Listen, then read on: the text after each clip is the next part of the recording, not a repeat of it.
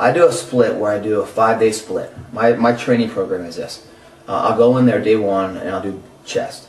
And then I'll go back, and then I'll go shoulders, then I'll go arms, and I'll go legs. So if you look at that a little more in depth, chest is a push, back's a pull, shoulders a push, Bis mainly is a pull, and then chest, I mean legs is you know outside of the mix. So I'm doing a push pull, push pull.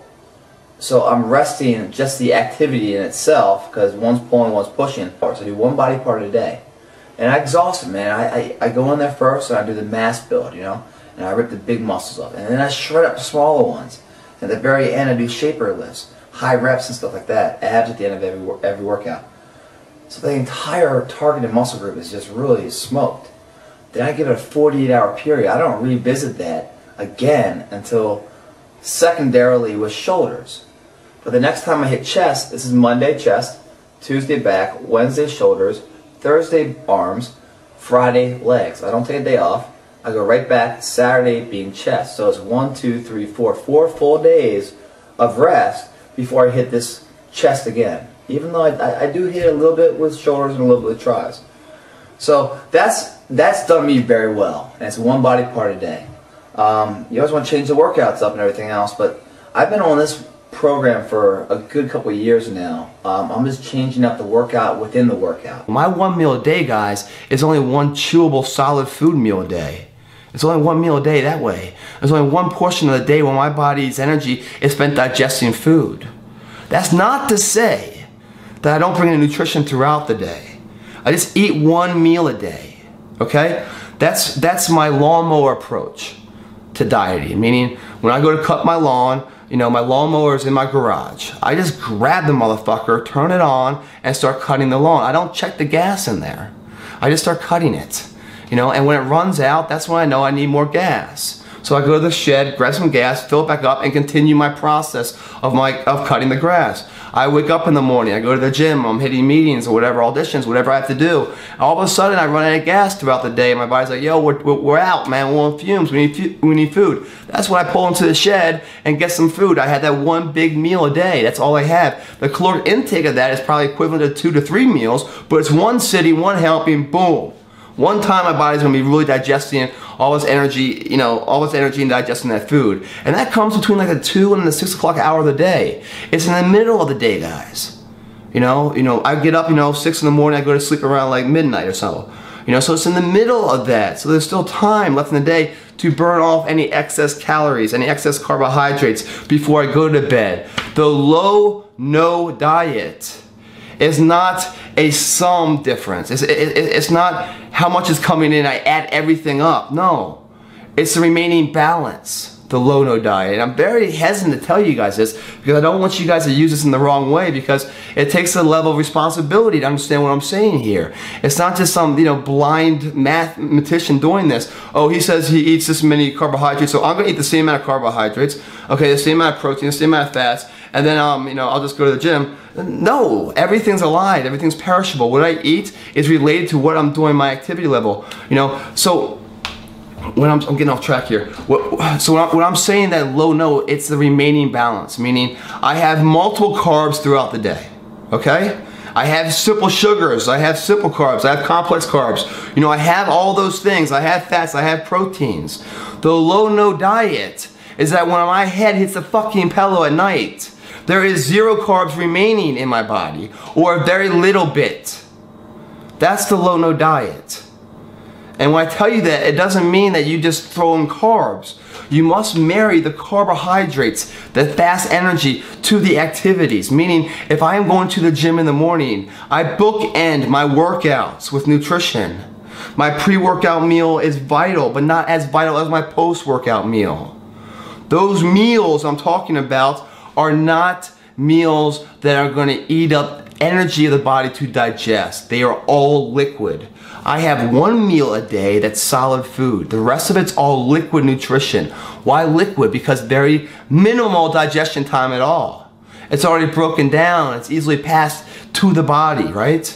So I'm not using up all that energy to digest it. I'm still getting the nutritional content I need, I'm getting it very fast. And why do I want it fast? Because it's a marriage, a basic principle of supply versus demand in order to grow the body. You go to the gym, you create the demand, those healthy micro tears of the body, that pump you get and everything else. You haven't grown shit. All you've done is weaken yourself at that given point. Weaken your physical self that way. And if you don't do anything with rest and nutrition at that point, you will be weaker if you go to do it again. That process right there of weakening yourself creates the demand for your body for a need to grow. But it can't grow on its own. It has to grow with rest and nutrition. But oh, by the way, we'll go on liquid nutrition right after and in that 45 minute window. Liquid. So it's easily dissolved, easily gets there right, right when your body needs it. That call to action is delivered. Exactly what your body needs, when it needs it. Marrying the supply versus demand to win the nutritional war. On the days I have a day off or whatever, I'm traveling or something, I'm very careful on what I eat. Very careful. That's probably when it's a legit low no diet where very minimal carbs are going in. Because I don't have a reason to use them, so therefore I don't put the surfboard on the car. Because I'm not going to the beach. But if I am going to the beach and going to the gym and going skydiving and doing construction, all in a, I got a busy day, I got a 20 hour day ahead of me more food coming in of nutritional value. I keep it all liquid, man, as much as I can, except for that one big meal. And why? Well, why not just keep that, though, you know, just just a liquid too? You know, why not? I think you could. I really think you could. But you know, then it comes down to time management. You know, I don't have a lot of time to sit here and prep and make make meals either. You know, imagine all the time it takes for breakfast, lunch, and dinner, not just to make it, but then to eat it, and then to clean up after yourself. Imagine take all that time and just drop into a shake, shake it and go. Rinse it out the club, whatever, you know? How much time you save there. So that's why I really only eat one meal a day, but I still need the nutrition. So I make sure the nutrition is combined with my activities. So the low no diet is remaining balance at the end of the day. I want to go to bed on an empty stomach on carbohydrates. What does that mean? Because at the end of the day, man, you know, we don't need a lot of, when you're sleeping, your body's gonna be burning energy to, to stay alive. It needs to, right? At a very low heart rate. If you jump into bed with a lot of carbohydrates, your body will burn those carbs throughout the night. Why wouldn't it? It's an easier energy source for it to burn. Your body's not in, in it to just, you know, to do something harder than it has to. It'll, it'll burn the carbohydrates. If there aren't carbs there, your body will go and start burning all that stored energy called body fat throughout the night. You wake up in the morning and you're hungry, you know, then you eat something, it's better. Again, like, it, like what you eat, like there's good carbs, right? And then there's bad carbs. What overrides that is a good time and a bad time to have them. When I, before I go to the gym, right? You know, there's a time there, so I need energy, I need it fast you know, the simple carb is the best option for me there because fastest release energy for me. I like that. If I would have oatmeal right before I go to the gym, slow release energy with fiber, longer to digest and everything else, well now I'm gonna probably have some stomach cramps in the gym. That's a bad time for a good carb. Where a simple sugar right before the workout is a good time for a bad carb. What overrides your meals, guys, isn't really what you eat, it's when you eat it. That sponge, when it's dry, you can dump fucking piss on it.